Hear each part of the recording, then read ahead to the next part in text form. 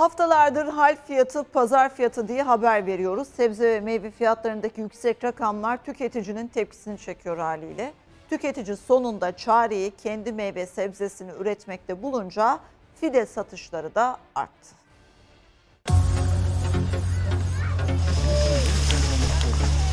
Çerim bu.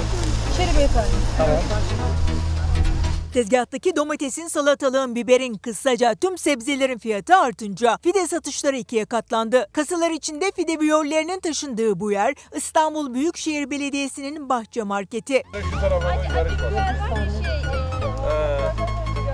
8 tane.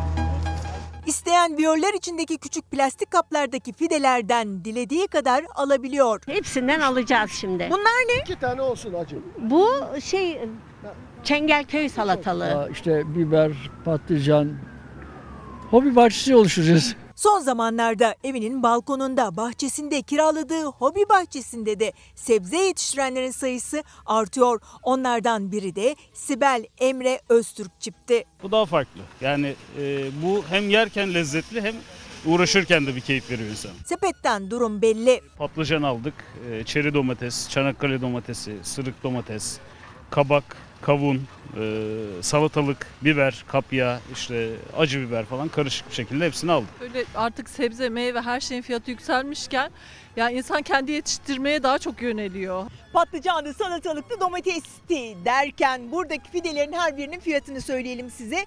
3 lira 25 kuruş. Tam diyecektim ki bayram nedeniyle %15 indirim var. Karşıma o çıktı. Çoklu fide alan müşterilerimize e, Nuri Bey'imize hediye edebiliriz. Ücretsiz sahiplendirebiliriz kendisini.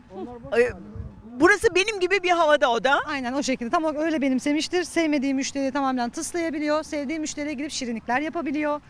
Biraz da sebzelerimizi koruyor burada bizim. Aynen öyle. Bir hava, bir eda. Fide tezgahının üstünde mekanın sahibi benim gibi yürüdü.